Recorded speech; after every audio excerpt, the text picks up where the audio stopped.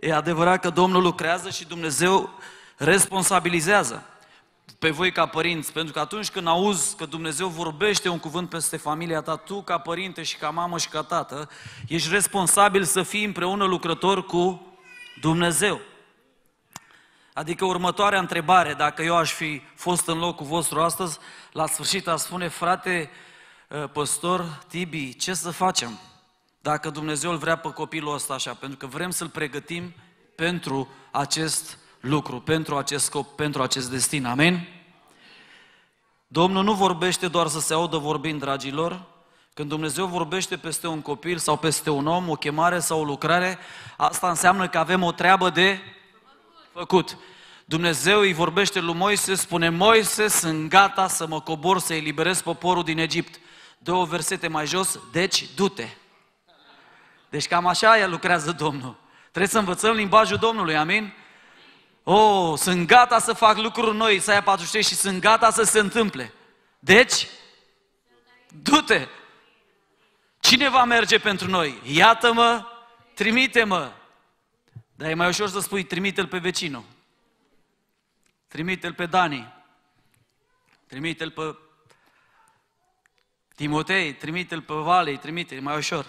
Dragilor, în dimineața asta uh, am pe inimă o serie nouă care o să începem despre compromis, pentru că am povestit, am avut o serie de câteva predici despre cum Dumnezeu folosește lucrurile mici să răstoarne lucrurile mari. Vă aduceți aminte de acea mică sclavă care a fost luată din poporul evreu, dusă în Siria, prin care Naaman a fost vindecată pentru că ea a fost instrumentul milei lui Dumnezeu față de el. Vă aduceți aminte de acel copil cu pâinile, vă aduceți aminte de cei, priet, cei trei prieteni din Babilon, cum îi chema? Anania, Azaria și Mișael.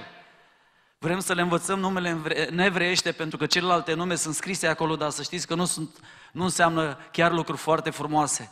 Însă Dumnezeu i-a folosit și întotdeauna Dumnezeu folosește lucrurile mici să răstoarne lucrurile mari. Pentru că buturuga mică întotdeauna răstoarnă carul mare. Eu vreau să vă spun, vă împiedicați de vreun munte? V-ați împiedicat vreodată de vreun munte? Nu. Vă împiedicați de o pietricică. Dumnezeu folosește lucrurile mici. Aduceți-vă aminte de Gedeon, acest copil acest tânăr fricos care se ascundea de Madian, care era din, din, din tot tribul lui Israel, din toate semințiile, seminția lui era cea mai mică, din seminția cea mai mică, clanul lui cel mai mic, din clanul cel mai mic, familia lui cea mai neînsemnată, spune Scriptura.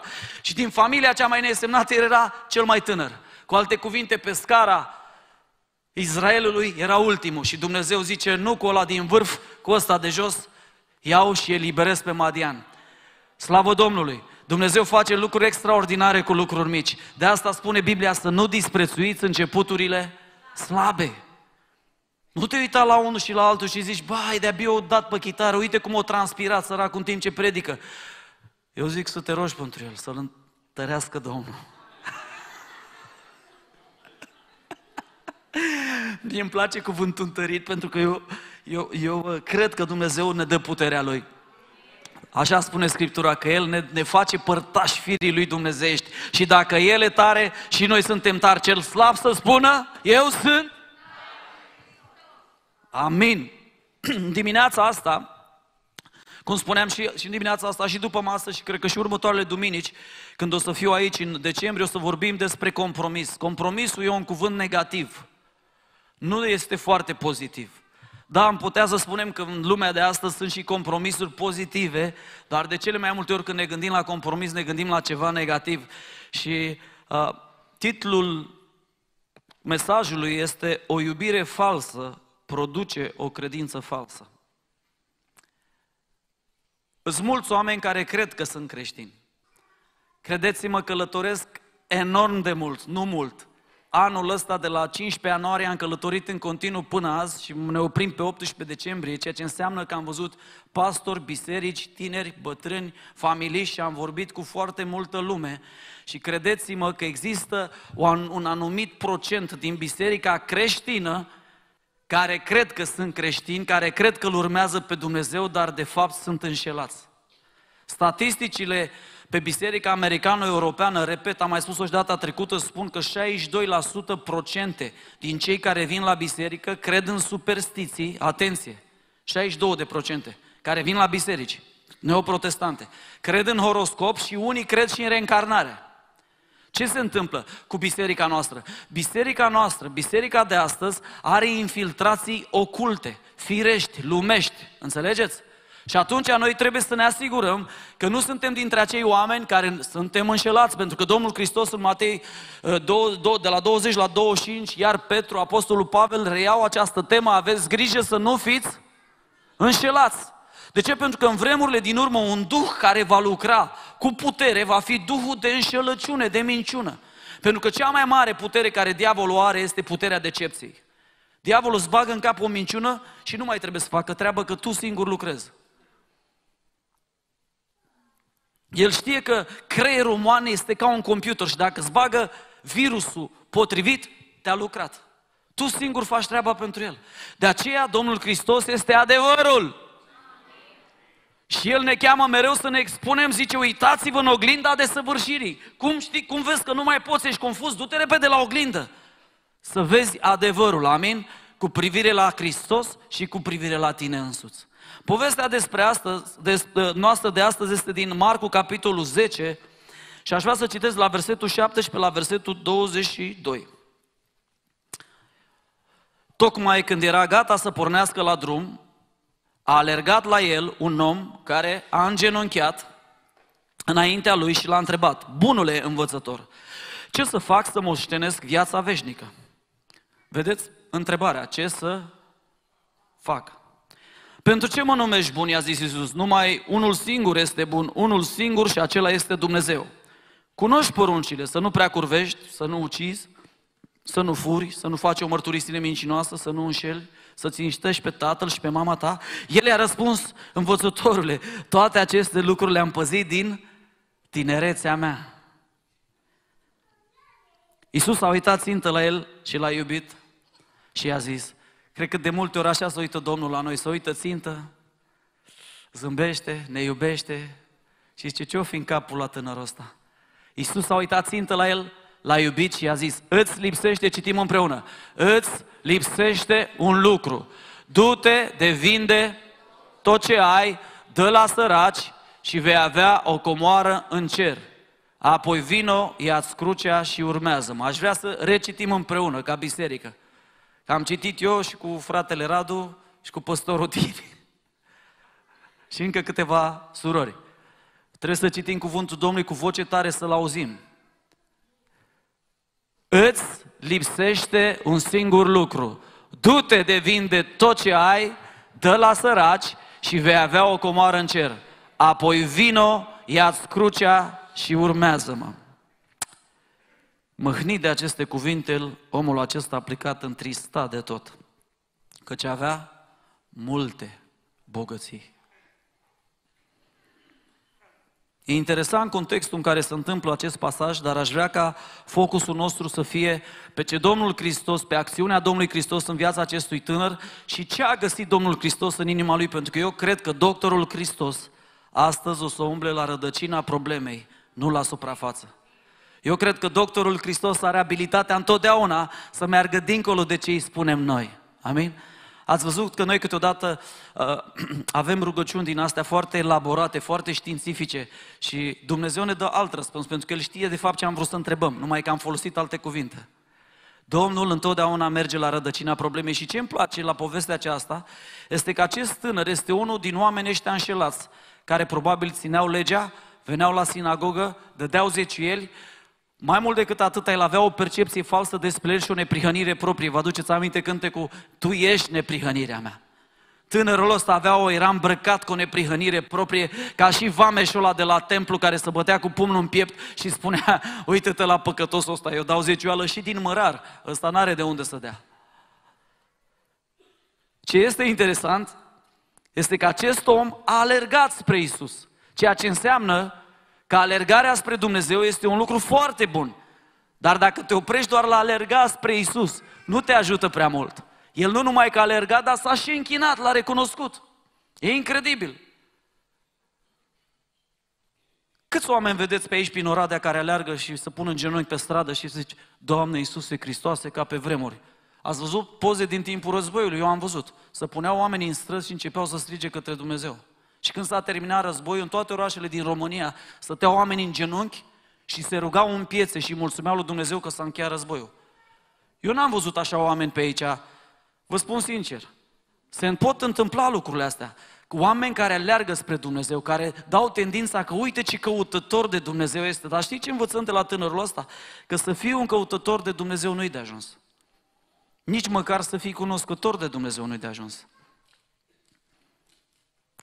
Domnul Hristos îl cheamă altceva să facă și aș vrea să le luăm pe rând să le despletim. Bunul învățător, vedeți întrebarea care îl pune. Îl crede bun pe Iisus și îl crede învățător. Nu-l crede Domn. Ce să fac să moștenesc viața veșnică? Că eu în viață m-am descurcat. Eu sunt din aia care știe să se descurce, eu găsesc oportunități, eu știu să fac bani, știu să învârt lucruri, știu să fac lucrurile, știu să aranjez puzzle-ul. Eu sunt unul din aia care se descurcă și dacă tu poți să-mi spui întrebarea asta, pentru că eu caut și lucrurile spirituale, sunt un căutător la lucrurile spirituale, ce să fac, ce pot să dau, cum pot să plătesc, cu cine să vorbesc? Și Domnul Hristos imediat îl redirecționează. Pentru ce mă numești bun? I-a zis, nimeni nu este bun decât unul singur, Dumnezeu. Și îmi place atât de mult de strategia Domnului. Și astăzi cred că Domnul ne va conduce și pe noi prin aceea strategie. Vedeți că Domnul nu se ia cu tânărul ăsta la, la trântă, să-i spune, bă copile, eu sunt Dumnezeu, eu știu ce e în inima ta. Domnul Hristos îl trece pe tânărul ăsta printr-un program de reabilitare a conștiinței lui și îl scoboară din filmul lui unde era pentru că din tinerețea lui el ținuse toate lucrurile. Și Domnul îi pune o întrebare bazată pe cuvânt. Ok. Cunoști poruncile. Și el spune. Vedeți că poruncile care sunt aici sunt partea decalogului, a celor 10 porunci.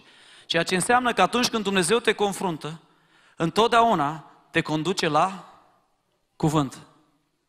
Întotdeauna este o problemă de cuvânt. Problemele noastre nu sunt probleme emoționale, nu sunt probleme sentimentale, nu sunt, probleme, sunt probleme mult mai serioase care au de-a face rădăcina noastră, inima noastră are de-a face cu Dumnezeu. Acolo trebuie Domnul Hristos să lucreze și să opereze. Și îl conduce la cuvânt. Îi pune aproape a doua parte, vedeți, să nu fur, să nu prea curvezi, să nu ucizi, lucruri care au de-a face cu aproapele. Și el spune, oh, Doamne, într-o mândrie deosebită, eu aceste lucruri le-am ținut din tinerețea mea. Cum vi se pare răspunsul lui? Beton. Domnul să binecuvânteze și mleu Silvaniei. Spuneți amin. Frații vin de acolo și Domnul să-i binecuvânteze, să-i folosească. Vedeți, Domnul Hristos îl conduce pe acest tânăr la lege, la Biblia celor zile. Îi pune o întrebare bazată pe cuvânt de ce? Nu să-l condamne, ci să-l ajute să conștientizeze problema pe care o are. El în mintea lui credea că e neprihănit, în mintea lui credea că nu are nicio problemă, în mintea lui credea că de fapt un singur lucru mai trebuie să acumuleze ca să fie un om perfect, un om fericit. Viața veșnică. Iată că avea această realizare. E tare ca la tinerețe să realizezi că viața asta nu-i tot ce este, că va veni o viață veșnică. Însă nu-i de ajuns să realizezi dacă nu faci ceva care să transforme viața și să ai o schimbare de macaz. Nu e de ajuns. Le-am păzit, Doamne, le-am păzit din tinerețea mea. Hmm. Uitându-se la ei, îmi place atât de mult versetul ăsta, aș vrea să-l citim împreună, versetul 21, este 21 sau 22? 21. Uitându-se țintă la el, l-a iubit și i-a zis, îți spun, frate și soră, Domnul Hristos când vorbește cu noi este foarte personal. Vă aduceți aminte ce spune că îngerul Domnului s-a uitat țintă la Iacov? Biblia spune că Domnul Hristos a trecut pe lângă Dud și s-a uitat țintă la Zacheu. Domnul are abilitatea asta de a se uita țintă pentru că El vrea să, să înțelegi că El e un Dumnezeu personal. El te cunoaște. Tu nu ești un număr, nu ești un CNP pentru El. Tu ești Dan în ochii Lui. Tu ești Adina, tu ești Vali, tu ești Tibi, tu ești Ramona, în ochii lui nu ești un număr, nu ești ceva acolo, o moleculă care aleargă. Tu ai un nume, ai o identitate, Dumnezeu e un Dumnezeu personal, se uită țintă la El. Și ce spune Scriptura? La iubit. Noi când întâlnim de multe ori tineri din ăștia sau oameni care au așa o, o mândrie și o aroganță care uf, parcă e ca un parfum, te lovește aroganța și mândria când te întâlnești cu ei, imediat te judecăm. Dar spun ceva, nu poți să ajuți pe un om pe care îl, îl judeci. Trebuie să învățăm de la Domnul Hristos, lecții învățate de la Domnul Isus. Unu, l-a condus la cuvânt. Doi, i-a pus întrebări despre cuvânt.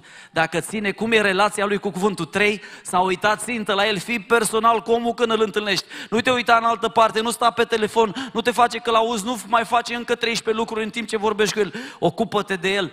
Și ce îmi place mult de tot, Isus l-a iubit. Vă spuneam, la, la școala de slujire, Samuel a plâns o noapte întreagă pentru Saul. Și probabil multe alte nopți înainte, înainte al Dumnezeu. Până când Dumnezeu i-a zis, oprește-te. Nu poți să te rogi bine pentru un om până nu plângi pentru el puțin.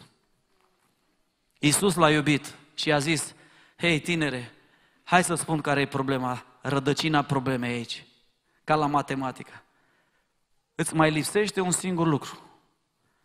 Du-te, vinde tot ce ai dă la săraci, vei avea o comoară în cer și a doua parte și mai importantă, apoi vino, ia-ți crucea și urmează-mă. Ce îmi place la acest verset, lasă-l acolo ca să-l, să tot vedem, este că Domnul Iisus Hristos se ocupă de rădăcina problemei. Doctorul Iisus începe să opereze și spune, hei, știi care e problema ta? Problema ta este că tu cauți viață veșnică în afară de relația cu Dumnezeu. Problema ta este că tu ai două iubiri în viața ta. Pentru că Domnul spune cu o ocazie, nu poți să iubești și pe Dumnezeu și pe Mamona. Eu stau să mă întreb câte iubiri sunt în inima noastră. Avem așa o loialitate radicală la adresa Domnului Isus Hristos sau atunci când Domnul ne cheamă Samuele, Samuele, noi zicem, Doamne, te rog frumos, acum sunt prea ocupat, chiar îmi construiesc casa, dăm te rog voie să mă îngrop părinții, dăm te rog voie să-mi cresc familia. Îmi spunea cineva, frate, lasă-mă să merg în Germania, să muncesc vreo 5 ani și după aia promit că îl slujesc pe Dumnezeu. Câte iubiri sunt în inima noastră? Acumularea lucrurilor, credeți că este o iubire care ne desparte de Dumnezeu? Cunoștință multă fără practică, credeți că este o iubire care ne desparte de Dumnezeu? Unde a început cunoștința fără practică? La Geneza. Mănâncă din mărul ăsta, că dacă îl mănânci, ăsta e mărul fermecat, îți va da o cunoștință și vei fi ca Dumnezeu. Zicea că mărul era bun de privit și de poftit. Vreau să acumulez mai multe predici de pe net. Ascult și ascult și ascult și ascult, dar n-am nicio practică, n-am niciun rod. Îți lipsește un singur lucru. Acest tânăr avea o iubire ascunsă. Și credeți-mă, E foarte, foarte, foarte greu câteodată să distingi și să discerni singur în viața ta iubirile alea ascunse, idolele, idolele aceia ascunși, pentru că de multe ori crezi că sunt buni, crezi că sunt ok. De asta ai nevoie de intervenția doctorului Isus în viața ta astăzi. Nu știu ce iubire ascunse ai. Cineva îmi spunea, băi, îmi pare rău că n-am fost la biserică de 2 ani, dar după ce s-a născut copilul, pur și simplu a devenit universul meu. Nu-i rău. Slavă Domnului! Nu e rău copilul să devină prioritate pentru tine, că e copilul tău, dar nu idolul tău. Eu știu de la Dumnezeu care are un obicei, când avem idoli, îi confruntă, să se ocupă de ei, îi scoate din viața noastră. Nu văd din copilul tău un idol, nu văd din soția ta un idol, nu văd din soțul tău un idol, nu văd din familia ta un idol. Știu oameni căsătoriți care să ceartă non-stop pentru familiile lor. Pentru că ce spune mama ei e mai important decât ce crede ea și ce crede soțul ei. Și așa sunt controlați de mamă, este un idol acolo, este o iubire, este un cordon care n-a fost niciodată tăiat. Sau am cunoscut pe un bărbat care ăsta era mai rău. De câte ori avea o dispută sau o decizie de luat, spunea, stai să o sun pe mama. Alo, mama, sunt aici cu Geta. Auzi tu ce zici? Punem castraveți pe iarnă sau?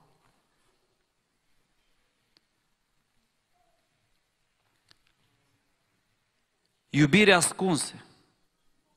Sunt lucruri care le ai ascunse, compromisuri mici, poate nu sunt mari, care le cari de atâta vreme după tine. Ești la biserică, vii în fiecare duminică și sunt acolo.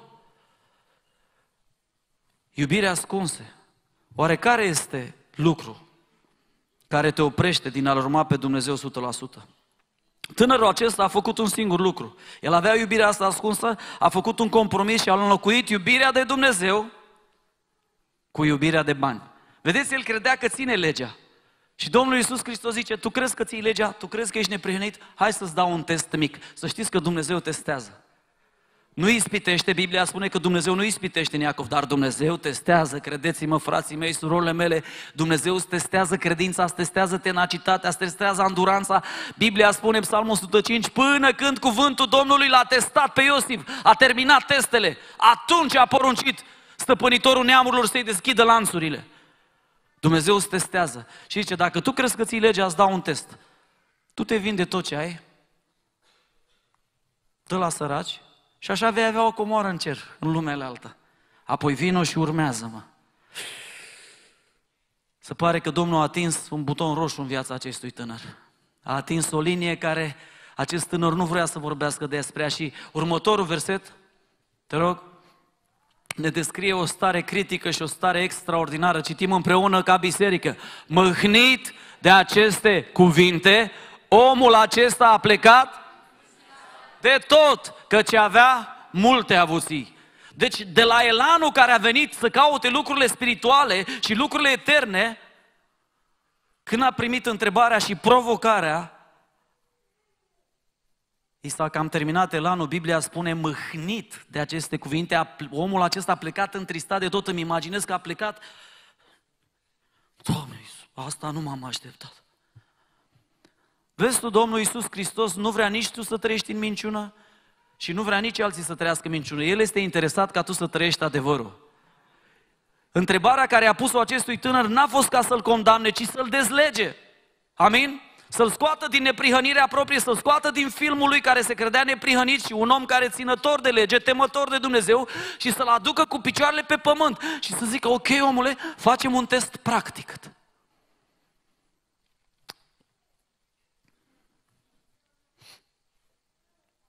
E ușor în teorie să zici, Iisus, te iubesc. Atât de ușor e să ridici mâini pe sus și e frumos să lăudăm pe Domnul. Dar luni vine testul și Domnul zice, hai să umblăm puțin aici la iubirea asta. Ai o iubire de sine cam pronunțată. Cum, Doamne, cum ți-ai dat seama? Petreci prea mult timp vegetând, meditând la lucruri anterioare, din viața anterioară, care nu trebuie să mai pescuiești acolo. Te uiți prea mult în urmă ca și soția lui Lot. Ai o iubire aici care trebuie lucrată cu ea, lucrat cu ea. Ești gata să dai totul pentru Dumnezeu? Îmi spunea un om, bine, Sani, pentru tine e ușor, ești predicator, nu ai bani. Bă, frate, dar eu sunt milionar. Tu ți imaginezi ce înseamnă o zecioală la mine? Păi nu se compară că dai tu 10 lei sau 200 de lei sau... Și eu, pe tu ți imaginezi? Și nu, voi, nu, să nu vorbim așa ușor, te rog frumos. Zice, ce să fac? Și zic că spun eu ce să faci, mai încolo. Dă-i Domnului totul, Doamne, sunt ale tale, administrează-le cât poți de bine și atunci când Domnul își cere părți din ele pentru împărăția Lui, redistribuile. Asta e o mentalitate sănătoasă a comorii care Dumnezeu ți-a încredințat-o. Închină eu Lui, administrează-o cât poți de bine și când Domnul bate la ușă și zice vreau măgarul tău, Doamne, e al tău, nu e al meu. Eu doar l-am administrat. Așa demonstrez că inima ta nu e legată de acele lucruri. L-aveam pe un om la bloc în București, mi-aduc aminte, Doamne, n-am văzut un om să-și iubească mașina mai mult ca asta. În fiecare dimineață, cu cârpulița, cu jetul. Eu plecam de vreme la muncă, nu mai știu, în jur de ora 6 și la un moment dat într-o, într-o dimineață, bineînțeles, mă așteptam să văd același scenariu. După patru ani de zile stând acolo, era același scenariu, non-stop. Îl vedeam cum își curăță, spală mașina, roțile, dă cu clei, dă cu... Și la un moment dat, ies din scara blocului, iese pe lângă mine și alerga. Nu! Și zic, ce s-a întâmplat vecine? Încep să alerg pe lângă el. E o pisică pe mașina mea! Unde este comoara ta? acolo este și inima ta. Unde este comoara ta? Ce învățăm de la tânărul bogat? Că să fii un căutător de Dumnezeu nu este de ajuns. Spune-i vecinului, nu-i de ajuns doar să-l cauți. Al doilea lucru care îl învățăm de la tânărul bogat, nu-i, nu-i, nu-i, cum să zic, nu-i sănătos să împlinești cuvântul doar opțional, doar legile sau lucrurile din cuvânt care ție îți plac și ți se par ușoare. Trebuie să împlinești cuvântul permanent, nu din când în când. Amin? Tânărul bogat împlinea o parte din lege, dar nu toată legea. Trei, ce mai învățăm de la el? Iubirea de bani întotdeauna ne desparte de, de Domnul. Și un, un ultim lucru care, care, care îl învățăm de la el este că chiar și oamenii luminați de Hristos înșuși îi pot întoarce spatele și pleca. Pentru mine e atât de dureros că sunt oameni care au vizitat, au fost vizitați de Dumnezeu pe patul de spital, știu oameni vindecați de leucemie, oameni buni, care doctorul i-a zis mai ai trei zile și trei și au fost vindecat și au întors spatele lui Hristos și au plecat pentru că inima lui era legată de o altă comoară. Știu oameni care pentru o relație l-au lăsat pe Hristos, pentru că tânărul i-a zis la tânără sau bărbatul i-a zis la femeie, eu nu mă o să mă pocăiesc în veci, deci dacă mă iubești, vii cu mine. Și a zis, ok, vin cu tine, îl părăsesc pe Domnul. Dar știu și oameni, știu o tânără în Baia Mare care a zis, prefer să rămân singură toată viața decât să mă compromet și să trăiesc în păcat. Prefer, cineva i-a făcut, uite, vină cu mine, hai să facem bani, hai să ne trăim viața, hai să gustăm din lumea aceasta. Și a zis, merg sănătos, eu stau lângă Hristos. Întrebare, ce crezi că trebuie să faci astăzi? Sau la ce trebuie să renunți în mod concret? Ce crezi că te obstrucționează să-L urmezi din toată inima pe Dumnezeu, pe Isus? Câte chemări nu ți-a făcut Domnul și ai spus nu? Ai zis amână. Câte chemări nu ți-a făcut Domnul să slujești la închisoare, femeile văduve, copii orfani, să slujești pe sărac? Pentru că asta e voia lui Dumnezeu. Biblia spune clar să nu dați uitării pe văduvă, orfan, sărac și străinul din țara voastră. Ce mă bucur că au început să fie în străin pe aici. Știi de ce? Că biserica, slavă Domnului, are oportunități să arate că Dumnezeul nostru e un Dumnezeu și al străinului, amin? Te-ai uitat la ăștia cu ochii așa și la ea negri din Nepal și ce ai zis? Ia uite mă vin ăștia să ne iau locurile de muncă? Sau ai zis, auzi, vreau să, să știu de unde ești. Pot să mă rog pentru tine. Uite aici să-ți iei un suc. Să știi că România te primește, Domnul să te binecuvânteze. Care sunt lucrurile care te obstrucționează din a fi un creștin dedicat total lui Dumnezeu? Poți tu să spui astăzi, fratele meu, am pus totul pe cântarul Domnului, nu mai am nimic de care mi-este inima legată. Poți să spui asta cu o inimă sinceră? Sau trăiești și tu într-un film ca tânărul bogat, care păstra o parte din lege, dar călca prima poruncă. Vedeți că testul Domnului Hristos ce ne descoperă? Că tânărul acesta călca prima poruncă. Care era prima poruncă? Să-L iubești pe Domnul Dumnezeul tău cu toată inima, cu tot sufletul, cu toată puterea. Da. Și ce îi spune? Domnul îi dă un test ca să-i testeze dragostea de Dumnezeu. Și tânărul pică testul. Eu mă întreb dacă Domnul ne-ar pune aceeași întrebare nouă astăzi. Ce am face? Concluzia e simplă. Acest tânăr avea o viață morală, dar avea compromis în viața lui. Și compromisul la mic de a înlocui iubirea de Dumnezeu cu iubirea de bani a fost fatală pentru el. Îmi pare atât de rău pentru că mă gândesc mă gândesc la câte iubire ascunse avem noi plăceri mici care sunt, cum zicea cineva, plăceri nepăcătoase. No, bine mă, frate Sani, nu poți nici așa să fii radical, mă, omule. Trebuie să ai și tu câte... Na... Bă, zic, nu te-am văzut odată la rugăciune.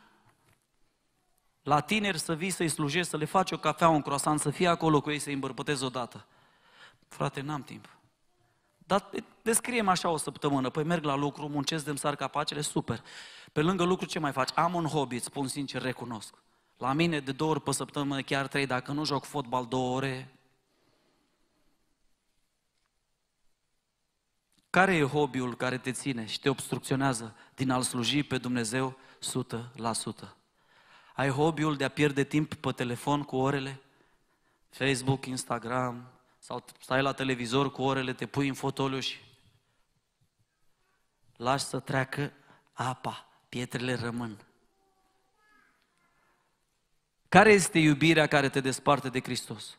Dacă astăzi Dumnezeu ți-ar face o chemare simplă, simplă, dragul meu, te chem de mâine să lucrezi cu orfanii.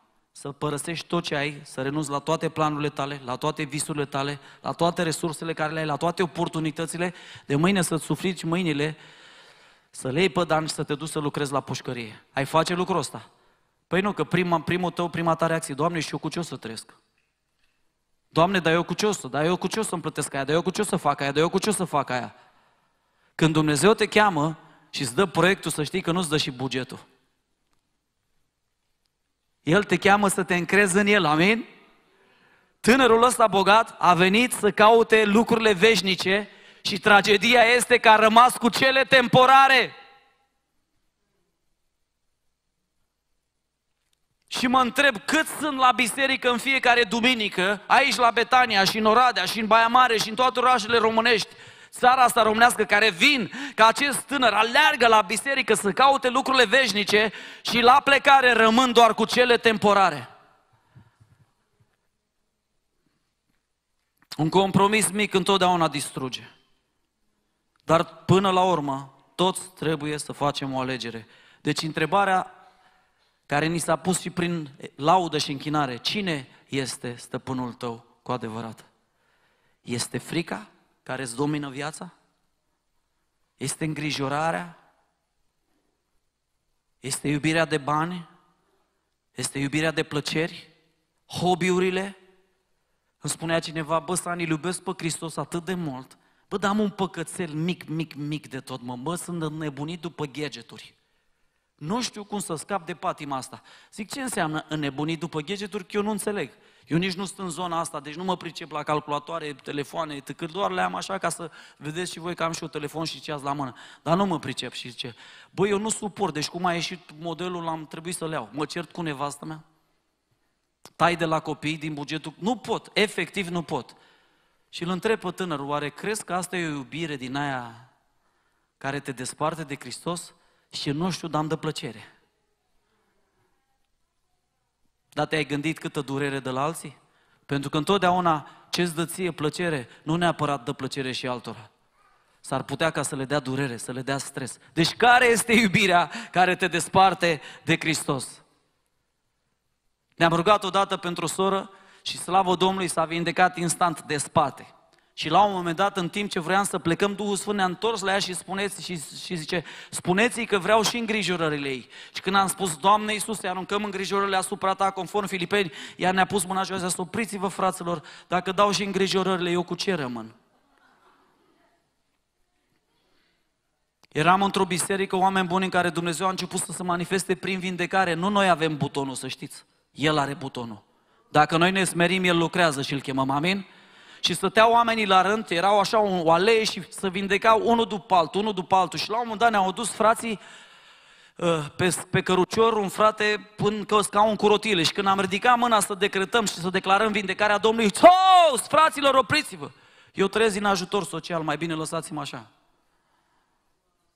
Eu avem martor. E aici în sală martorul, că a fost cu mine. Vezi, și aia este o iubire. Iubirea de lene. Vrei să te faci sănătos sau vrei să fii un cerșetor toată viața ta? care ce vrei? Îl întreabă Domnul Isus pe acel olog de 38 de ani. Ce este de făcut oameni buni dacă inima noastră este bolnavă? Trebuie vindecată, amin? Trebuie vindecată. Și pentru că omul face ce gândește, în primul rând avem nevoie de noirea minții. Roman capitolul 12 spune că noi suntem chemați să ne noim mintea zilnic, nu din când în când. Și să-ți noiești mintea zilnic înseamnă să stai în cuvântul lui Dumnezeu și să auzi cuvântul lui Dumnezeu, să lași să te spele și să te curățe și să-ți noiască mintea. Cum spuneam și dățile trecute, știința a dovedit că la citirea Bibliei Axele noastre neuronale sunt rearanjate și șocant, oamenii de știință au dovedit că începem să gândim ca și Hristos. Nu vi se pare interesant? Păi da, frate Sani, dar eu nu înțeleg. Continuă să citești, dar eu nu pricep, continuă să citești. Dar nu știu să fac exegeză biblică, continuă să citești. Pentru că Biblia te va transforma. Spune-i vecinului tău, noiește-ți mintea. Continuă să citești. Înnoirea minții. Atenție, nu poate coexista iubirea de bani și iubirea de Domnul. Repet, nu poate. Și dacă ai bogății în viața ta, nu-i rău că le ai. Dacă ai resurse, nu-i rău că le ai. Dacă Dumnezeu ți-a dat abilitatea să faci bani, nu-i rău. Slavă Domnului! Dar ce poți să faci cu lucrurile astea? Închină-le Domnului. Pentru că un lucru închinat Domnului nu te mai controlează pe tine. V-a spus întrebarea de ce Dumnezeu i-a cerut lui Avram să-l jertfească pe fiul lui pe care îl iubești cel mai mult, pe ăla, pe Isaac, îl vreau, nu pe Ismael. Stai să-ți explic, Avram, v-a spus întrebarea. Dacă nu-i, nu-i, nu-i, probabil că dacă nu-i specifica Domnul, lua pe Ismael, pentru că el îl iubea mult, își legase inima de Isaac, era viitorul lui. Și Domnul îi cere viitorul. Știi de ce? Pentru că numai în mâna lui Dumnezeu viitorul tău este protejat. Numai în mâna lui Dumnezeu copiii tăi sunt protejați. Predă-i Domnului, închină-i Domnului. Numai în mâna lui Dumnezeu, numai în mâna lui Dumnezeu, trupul tău, dacă îl închin Domnului, El se ocupă de el. Doamne, eu îți închin trupul ăsta ție, numai al meu. Mi-aduc aminte când au venit prietenii la mine din gașcă și m-au întrebat, ce bă, Sani, dar chiar nu mai putem să dăm cu tine o mână de poker, mă, un zar, un ceva, mă, ce s-a întâmplat, mă, omule, cu tine? Nu mai am mâini. Bă, dar te-am văzut, mă, că nici nu mai înjur, mă, ce ți-au făcut, mă, pocăiți ăștia, ți-au schimbat creierul. Nu mai am gură. Băi, nu, nu, nu, bă, dar un pumn așa, nu simți din când în când, bă, ceva să te... Bă, tu erai bătăuș, mă, ție îți plăcea, mă, îți plăcea activitatea, erai energic. Nu mai am mâini, nu mai am picioare, nu mai am trup. Pentru că îi le-am dat Domnului Hristos. Tot ce închin lui Dumnezeu este protejat. Nu lăsa compromisurile mici, pentru că vulpile mici distrug viile în floare. Intră un duh de frică astăzi, un gând, a, poate ai și tu cancer. Și deja toată săptămâna ți-e dată peste cap. Pentru că ai permis acelui Duh să vorbească în viața ta și tu începi să te comporți ca atare. Mi-aduc aminte o poveste despre un om care a fost vindecat de cancer.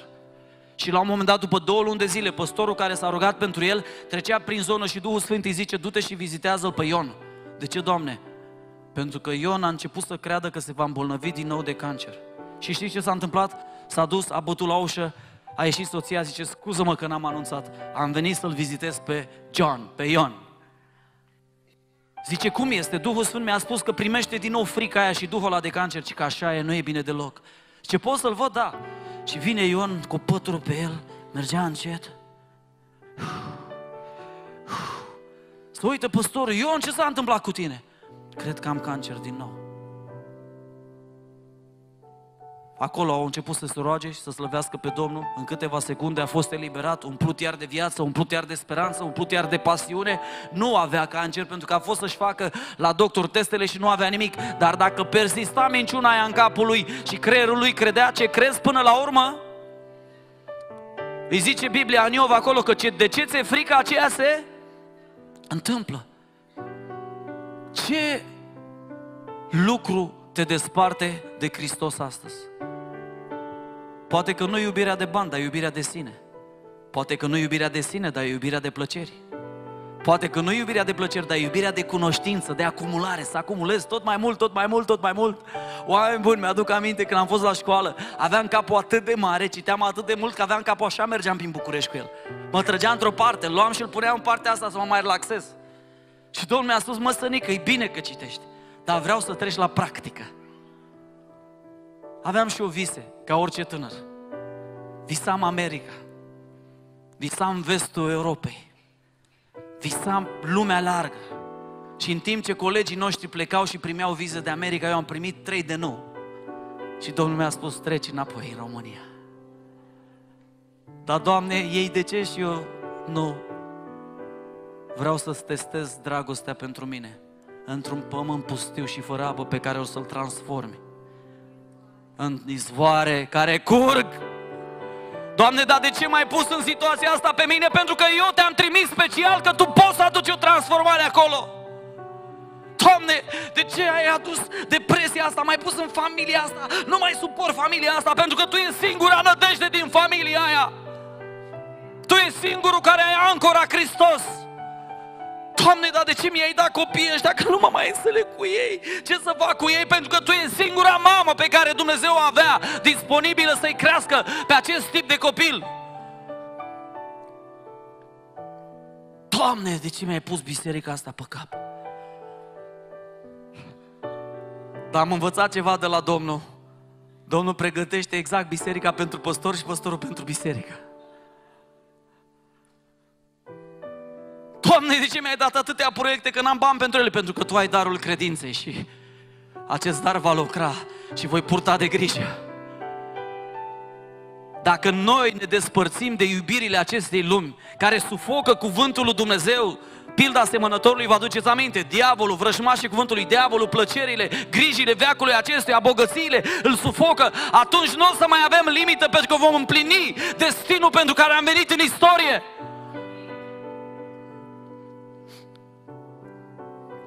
Diavolul mă ținea cu frică mare când eram copil mic. Aveam șase ani jumate, am ajuns din Moldova în Craiova și când mă striga profesoara, intra un duh de frică în mine și nu puteam vorbi. Cum te cheamă? Trancă. Și când Dumnezeu m-a chemat să vorbești, să predic Evanghelia, m-am dus la el ca Moise, m-am pus în genunchi și am început să plâng și am zis, nu pot, te rog, cheamă pe altcineva. Nu mă pricep la vorbe, Doamne. Nu sunt dintre România care au cuvintele la ei. Și Dumnezeu a zis, du-te cu puterea pe care o ai. Nu te mai victimiza. Te iubești prea mult pe tine, Sani. Și prin victimizare găsești câte o alinare din când în când. Dar eu te chem la mai mult decât victimizare. Eu te chem la biruință. Eu te duc în carul meu de biruință în fiecare zi. Dumnezeu nu vrea să stai și să mănânci firmiturile.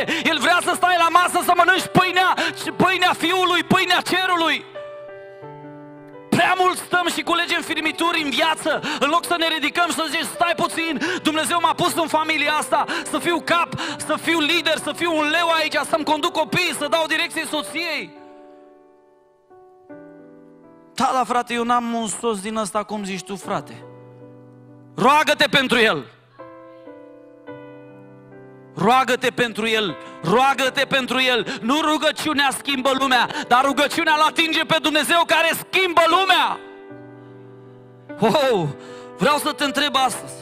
Ești gata să lași iubirea aia care te leagă, care te obstrucționează, frica, depresia, neliniștea, neputința. Îmi spunea cineva, roagă-te pentru mine, roagă-te, an de an mă rugam pentru persoana aia, am un duh de neputință, dar soră, un duh de putere nu găsești în Hristos. Doar duhuri de neputință ai. Uită-te la David că era slab, căzuse țiclacul, soția, el a luat, copiii erau luat soțiile celorlalți și David zice Biblia că era ca și bolnav și deodată s-a întărit în Domnul.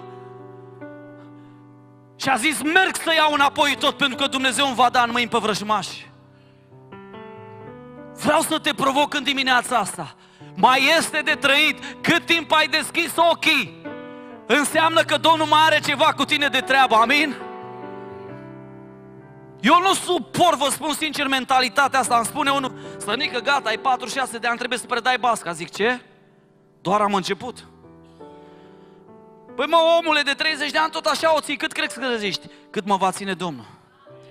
Când a voit Domnul, l-a luat pe Ilie la cer, spune Scriptura. Până atunci, eu nu trebuie să-mi fac grijă să ajung în cer, că acolo voi ajunge sigur că l-am ales pe Hristos. Treaba mea e să fac treaba Lui aici pe pământ cât sunt, amin? Să fiu un instrument al milei, al nădejdii, al puterii lui Dumnezeu, al înțelepciunii lui Dumnezeu, acolo unde m-a pus. Ce frumos și ce ușor e să stai așa. În bisericile pline de oameni care stau așa în fiecare duminică, pentru că să iubesc prea mult pe ei. Și doctorul Hristos astăzi vine și spune, vino și pune pe altarul meu iubirea de sine. Păi, Doamne, mi-e frică, nu știu. Eu nu te-am chemat dacă știi. Eu te-am, nu te-am întrebat dacă poți. Pentru că nu e o problemă de putință, e o problemă de credință. Eu te-am întrebat dacă crezi că eu pot prin tine. Păi, Doamne, eu cred că Tu poți prin mine. Atunci vin în față. Vino să-ți răstignește astăzi dorința de sine, lenea spirituală. Stăm și nu citim Biblia, dar stăm cu ochii în televizor și în știri o zi întreagă. Acest duh de lene spirituală. Apoi a zis tuturor, dacă voiește cineva să vină după mine, să se lepede de sine, să-și ia crucea în fiecare zi și să mă urmeze. Fiindcă oricine va voi să scape viața, o va pierde, dar oricine își va pierde viața, o va mântui. tânărul bogat, se pare că până la urmă a plecat cel mai sărac om de pe pământ. A pierdut și pe Hristos, a pierdut și oportunitatea de a fi unul din cei 12, că l-a chemat, vino după mine. Pe Gadarea nu l-a chemat, pe Zacheu nu l-a chemat, dar pe ăsta l-a chemat, vino după mine. A pierdut și oportunitatea de a fi al Domnului și de a fi ucenic și și eternitatea. Niciunde nu ne mai consemnează că acest tânăr s-a întors. El a plecat, supărat, mâhnit.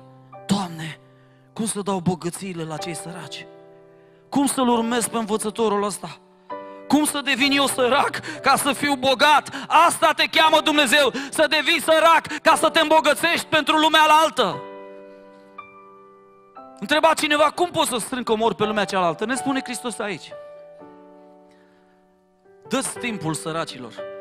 Dă-ți resursele săracilor, orfanilor. Caută-i pe ea din închisori. Pentru că la sfârșit va veni stăpânul și va zice, plecați de la mine blestemaților, căci nu v-am cunoscut. Doamne, stai puțin, e o neînțelegere. Când nu ne-ai cunoscut? Că noi, Doamne, am făcut asta și am scos draci. Nu, nu, nu, nu, ălea, ăsta altceva. Am fost flământ și nu mi-ați dat să mănânc. V-ați închis buzunarul. Dar, Doamne, nu mai aveam decât trei borcane de zacuscă. Jur pe roșu. Trebuia să dai două, că ți ajungea doar unul. Și oricum erai la dietă, așa mi-ai spus, că vrei să slăbești. Dar, Doamne, promit, Tu știi că mie mai îmi place așa, am păcățelul ăsta cu ciocolata din când în când. Aveam trei tablete în frigider, N-am putut efectiv să-i dau la copilul ăla din lift când am auzit că vreau o ciocolată și mai că se stași mă din gură că rup gura că n-avem bani. Aveam trei tablete, dar și m-am gândit că, că să-mi ajungă pentru toată luna. Dar nu puteai să dai două și la copilul ăla? Treci pe lângă săracii lumii acestea, financiar sau fără Hristos, și nu îți pasă, îți vezi de viață și îmi văd de viață și vine doctorul Hristos și zice, serios, voi chiar mă iubiți pe mine? Am fost flământ și nu mi-ați dat să beau. Am fost sărac și nu m-ați îmbrăcat. Am fost la închisoare și nu m-ați vizitat. Am fost bolnav și n-ați venit să mă vedeți. Și voi aveți curaj să-mi spuneți că mă iubiți? Pentru că dacă m-ați iubi, ați împlini poruncile mele. Și porunca mea e să mă iubiți pe mine și pe aproapele ca pe voi înși vă. Dragilor, biserica de astăzi are o iubire mai mare decât Hristos. Iubirea de sine, care astăzi Domnul ne cere să o răstignim. Aș vrea să facem ceva deosebit în dimineața aceasta. Aș vrea să vă provocăm înainte să ne rugăm pentru cei bolnavi, pentru că au fost câțiva care au solicitat și o să fie aici echipa pastorală și slujitorii, dar în dimineața asta vreau să-ți cercetezi inima. Și dacă găsești o iubire acolo sau dai de un firicel, vino în față și predă-te lui Iisus Hristos. Nu din scaun, vino în față să fie publică mărturisirea ta. Vino să arăți, da, Doamne, înaintea tuturor recunosc că am bătălia asta, dar te aleg pe tine. Nu este accentul pe ce lași, accentul este spre cine alergi. Te aleg pe tine, Iisuse. Da, Doamne, m-am bătut cu frica, m-am bat cu depresia, m-am bătut cu sărăcia, m-am bătut cu mentalitatea de zgârcenie, am... Odată l-am întrebat pe un om, auzi, uite, am, am, am, am o cauză, strângem bani, am pus și eu, știi că eu nu prea am bani, am pus și eu. Zice, să, Sănică, crede-mă, sunt atât de sărac că n-am bani să-mi dau nici mie. Exact așa mi-a spus. Și într-adevăr, omul ăsta era atât de sărac, nu în conturi, în conturi nu era sărac, era sărac în mentalitate. Deci el era atât de sărac, mă uitam la el, niște, Doamne Iisuse, mântuiește-l. El a recunoscut, iubirea lui era iubirea de bani. Sunt atât de sărac că nu pot să-mi dau nici mie. Sunt oameni cu bani în buzunare, care copiilor mor de foame și nu le dau la copiilor să mănânce. Sunt oameni cu bani în buzunare, care eu îi văd pe copiilor cu papucul rupt și el un papuc din ăla nou nouț, dar nu îi dă și copilului, să, să, lasă-l mă că e copil. Care este iubirea care te ține? Omule, ai venit la biserică, nu veni în fiecare duminică să alergi spre Domnul cum a alergat tânărul ăsta bogat și să pleci acasă mai sărac.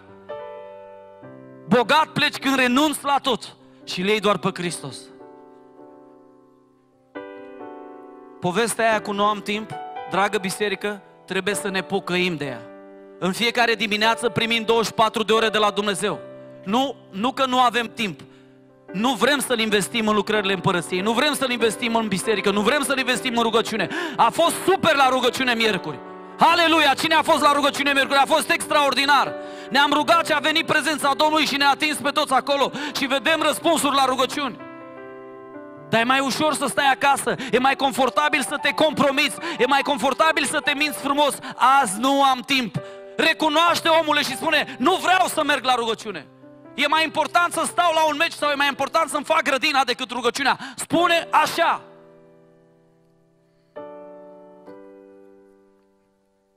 Biblia spune cine caută împărăția, cine prihănirea lui, toate celelalte Dumnezeu se va îngriji de ele. Eu sunt ferm convins și am experimentat asta. Când am căutat împărăția, Dumnezeu m-a ajutat să termin școala. Când am căutat împărăția, Dumnezeu mi-a dat soția. Când o să cauți pe împăratul Hristos, Dumnezeu o să-ți dea bărbatul. Întotdeauna Dumnezeu poartă de grijă. Când cauți mai întâi împărăția lui Dumnezeu, toate celelalte ți se vor da, ți se vor da, îți vor cădea în poală, Dumnezeu va face în circunstanțe ceva și te vei întâlni cu ele și vei zice, Doamne, e pentru mine? Ai căutat mai întâi împărăția. Tot efortul tău a fost pus pe mine. Vreau să te chem astăzi aici. Păstorul Tibi vorbea despre eu să mă micșorez ca el să crească în mine. O să cânt acest cântec. E un cântec mai vechi. Are două versuri, nu-i mult. Dar în timpul acestui cântec vreau să te provoc să vii în față. Ascultă-mă, nu o facem de show, nu o facem de poze. Noi nu suntem pentru asta aici. Chiar vrem să ne dedicăm total lui Isus Hristos pentru vremea cât mai e pământul ăsta, amin? Vremurile sunt grele, recesiuni se anunță, o să fie crize peste crize, dar vă spun ceva, omul care va căuta pe Domnul va face mari sprăvi. Într-o vreme de criză, cu un pumn de făină și un deget de ulei, văduva a avut ce mânca ea și Ilie și fiul ei pentru multă vreme. Într-o vreme de criză a semănat Isaac. Și Biblia spune că a cules de 100 de ori mai mult. De ce? Pentru că a căutat împărăția. Într-o vreme de criză, Avram a venit și a zis, Doamne, îl iubesc, e viitorul meu, dar îl pun pe altar. Și Dumnezeu a zis, pentru că ai făcut asta, acum știu că mă iubești și mă asculți. Te voi face tatăl multor neamuri. Vino și mărturisește-ți iubirea înaintea Domnului. Nu o să fie nimeni cu tine aici, doar tu cu Dumnezeu. Și zici, Doamne, mă predau. Vreau să aduc să răstignesc iubirea asta de sine. Vreau să aduc să răstignesc iubirea asta, Doamne. Acumularea asta de cunoștință fără practică, Duhul ăsta care mă ține și sunt un demagog și un fățarnic, vreau să-l răstignesc aici. Mândria asta care eu predau lecții la toți, dar eu nu practic ce, ce, ce predic. O răstignesc aici.